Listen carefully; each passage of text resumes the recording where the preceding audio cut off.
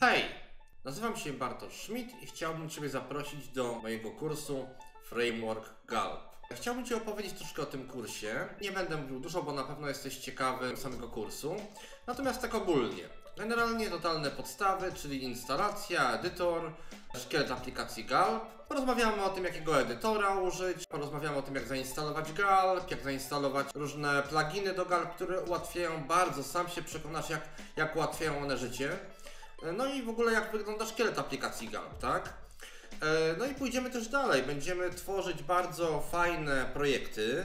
Na przykład e, projekt złożonych pięciu projektów w jeden, bo cztery galerie w jednym projekcie i jak je, że tak powiem, się przenosić z jednej galerii do drugiej. E, Zobaczcie, jak wygląda kod JavaScript takich galerii i takiego przechodzenia z jednej galerii do innej. Zbudujemy taki projekt jak trzęsienie ziemi, zbudujemy stylowe portfolio i różne inne bardzo ciekawe projekty. Lupa, zoomowanie i wiele, wiele innych ciekawych rzeczy.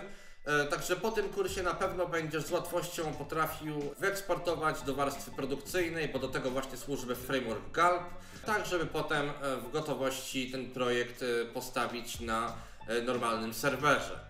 Także jeszcze raz Cię bardzo gorąco zapraszam. No i przyjemnej nauki. Do zobaczenia!